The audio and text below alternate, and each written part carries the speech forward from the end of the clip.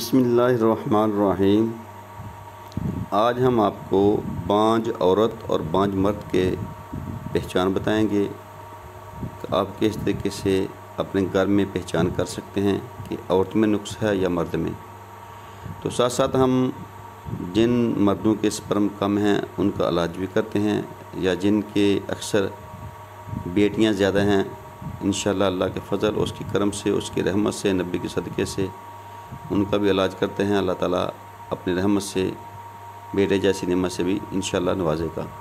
तो अब चलते हैं। सबसे पहले आपने जो औरत है, वो अपना पेशाब जो है, वो किसी बर्तन में करे, प्याले में करे और साथ ही मर्द भी किसी अलहदा प्याले में करे। तो आपने कद्दू की जाड़ लेनी है या काहू की जाड़ लेनी है, इसको आपने पेशाब में रख देना है।